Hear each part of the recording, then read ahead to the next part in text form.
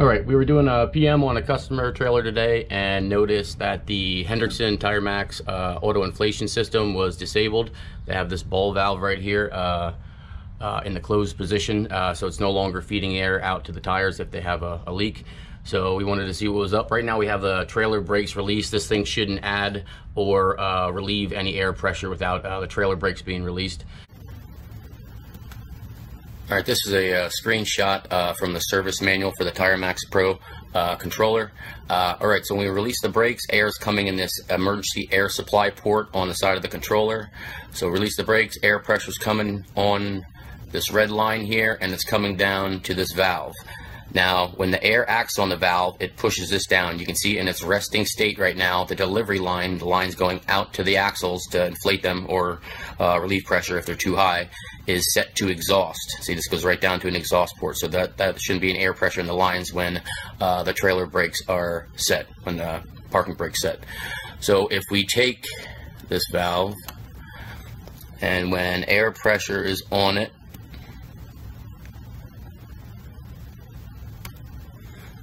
pushes the valve down to this position. Now you can see our, our air supply right here. So this is the air coming from the pressure protection valve uh, that is actually going out to the tires. It goes to a regulator with a flow switch. That flow switch is uh, illuminating the light at the front of the trailer and let you know that air is passing through the system. Uh, so it goes to a check valve, and then uh, again with the air uh, pressure being here from the brakes being released, it pushes the valve down here, opens up the delivery line, and now you can see our exhaust port is plugged, is, is, is blocked off. So it blocks off the exhaust port and opens up the delivery line out to the, out to the tires. Uh, so we're going to open up this valve. And you can hear uh, air leak coming out by the wheel end. And we can see it's coming out of this axle drain right here. Now this axle drain, you can see it's it's like it's mounted on the side. This isn't to drain moisture out of the axle. This is to drain uh, air pressure in case there's a leak inside of uh, the axle or the auto inflation system so you don't uh, pressurize the axle and blow out a wheel seal. And that's an important note. Don't ever put your finger over here and uh, close up the air pressure because air pressure uh, is going to build up in the axle and it's going to give on the only place it can give, uh, and that's going to be on a wheel seal or a hubcap gasket. Um, all right, so this axle drain right here uh, is for the entire axle, so it could be either this hubcap that is leaking or the hubcap on the other side. So what we're to do is pop out here and uh, show you how to figure out which side is leaking. All right, off of the TIREMAAX controller, if you trace the blue delivery line, so the air that's getting delivered out to the tires, there's one line right here, it leads to this block, and then it splits off to four different airlines going to uh, each uh, hubcap. Uh, so we're carrying, we're, the, the problem where we have the leak, it's in the front axle, so we're gonna trace the two hoses coming off the front axle. We have this hose right here, I got the loom peeled off, and this one right here. So basically, I'm gonna have to shut off the air first so I don't have air rushing out of the of this uh, block right here. Again, air is coming from the controller this way, and it'll be coming out to the to the tires. So I'm going to set the trailer brake so we don't have air coming through here, and I'm going to individually remove each line. And when I do, uh, I made this little plug right here. All this is is a push to connect plug with a uh, brass uh, compression fitting on it and it works good for plugging up the uh, the lines here. So we're gonna plug up the uh, one of the lines uh, and then release the brakes again. And then if we still have an air leak, then we know it was the unplugged line that uh, was causing the, the leak. And if it stops the air leak, then we know that it was to the wheel end that we that we plugged up. Uh, the uh, Hendrickson recommends that uh, in the book they recommend uh, opening up the hubcap and just checking uh, I don't recommend that because if you look at some of these hubcaps, this is another uh, Henderson unit. This is just a, a different trailer. Uh, if you notice, uh, one bolt on the hubcap is different from the other. So this is a hex head. This is an Allen head right here, and they have like an epoxy uh, packed inside of there. That's their way of checking if the wheel end was opened up. A lot of these wheel ends, uh, this one right here is an H XL7. So this has a seven year warranty on it. So if anything goes bad, bearings, wheel seal, uh, that's warranted. So they can tell if someone was in the uh, wheel end, if someone picked out that epoxy or whatever they, they pack in there, uh, and that'll void the warranty. So I suggest checking out the air hoses first um, and go from there. All right, I uh, set my trailer brakes. I installed this plug on the uh, port going to the hose, going to the right side of the trailer, or right side of the axle rather. Uh, the hose feeding the left side hubcap is still hooked up. So I'm gonna go up front, I'm gonna hit the uh, supply valve, open it up again, and if the air leak's still there, we know that our left side is a problem, and if this plug stops the air leak, I know the hubcap on the right side is a problem.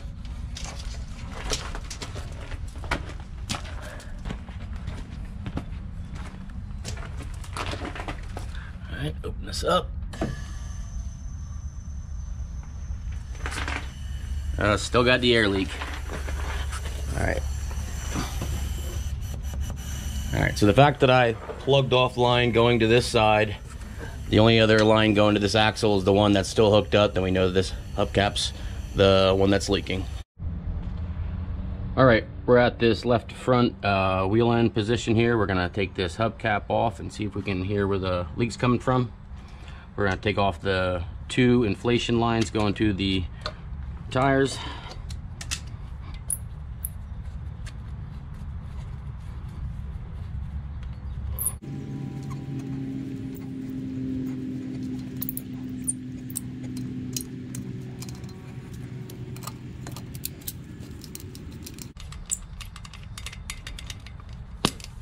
All right, got these off. Now we're gonna take the hubcap bolts off with the half inch sockets. Okay, take these off with an impact. When you're putting it back on, you're supposed to torque them down to 15 foot-pounds in a star pattern.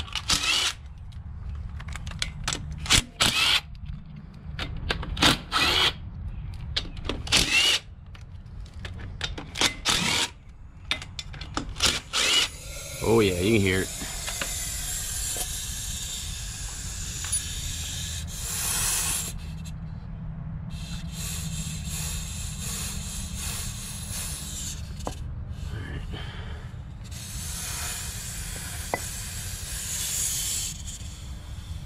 Don't think it's leaking out of, so this hose connects to a rotary union right here on the hubcap. That's how it transfers air from the axles to the hubcap.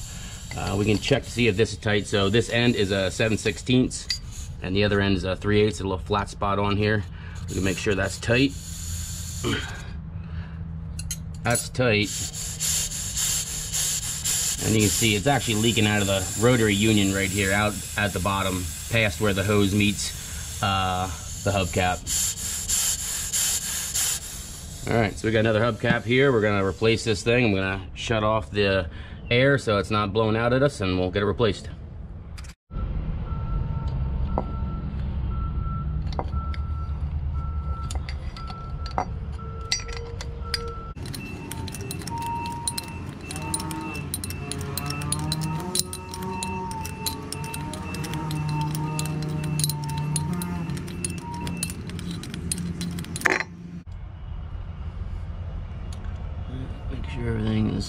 Clean in there, no grease.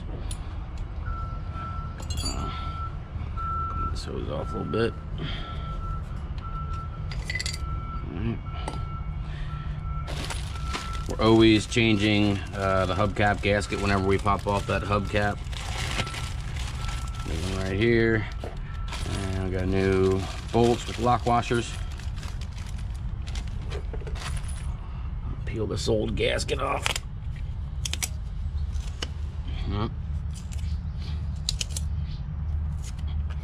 All right, so I'm gonna grab a razor blade and we're gonna clean off all this uh, leftover gasket here. Um, that's gonna make a uneven uh, sealing surface for the new gasket that might leak. So grab that and clean that off.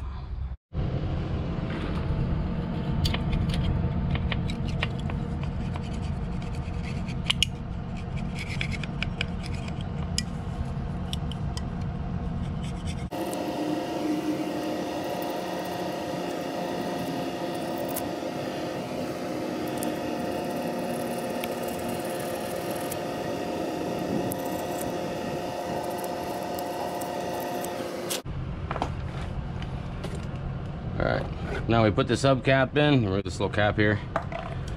Put, make sure you put your hubcap gasket on because if you forget and you go to connect this and you go to bolt everything up, realize your gasket uh, isn't there, then you gotta pull everything back off. So make sure that's on there before you hook everything up. Ooh. Stay on there.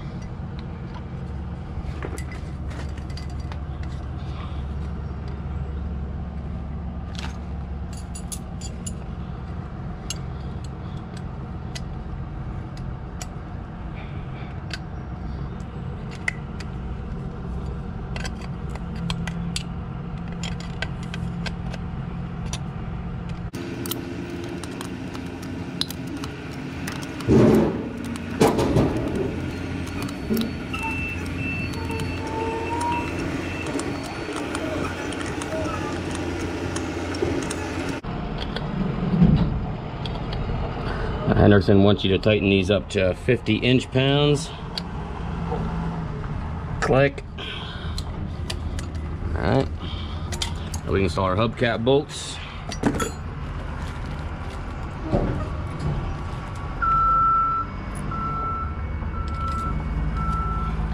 When you install your hubcap, make sure you clock these correct so you can get your hoses in there uh, so your hoses aren't rubbing on the side of the tire.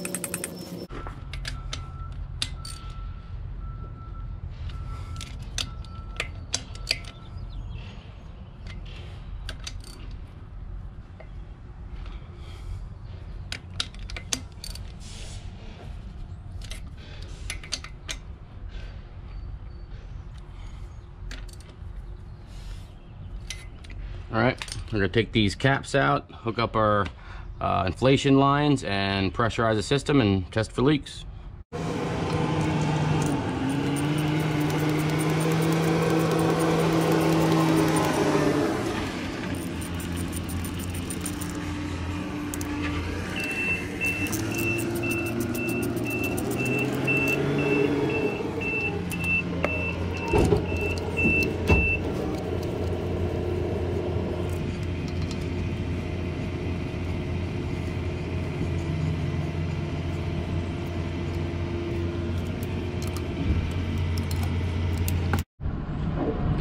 All right, we have our brakes released again, so we're gonna open up our supply valve going out to the uh, to the axles and see if we still uh, have our air leak or if it's taken care of.